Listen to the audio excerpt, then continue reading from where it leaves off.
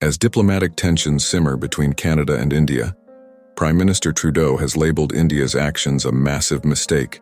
This dramatic escalation follows accusations that India played a role in the assassination of Hardeep Singh Nijjar, a Sikh separatist leader, on Canadian soil in June 2023.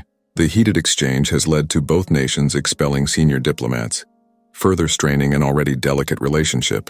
India has vehemently dismissed these allegations, branding them as preposterous. Officials have accused Trudeau of using the tensions to garner support from Canada's substantial Sikh community.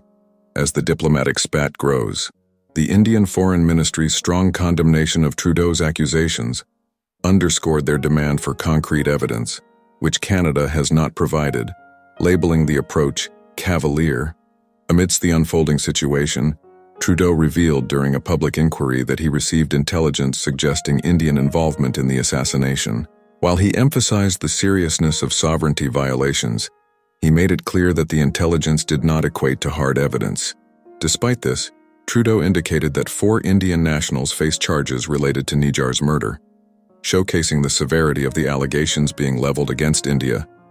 The Royal Canadian Mounted Police, RCMP, has disclosed investigations into threats posed to pro-Khalistan advocates within Canada, alleging that these threats are orchestrated by Indian agents.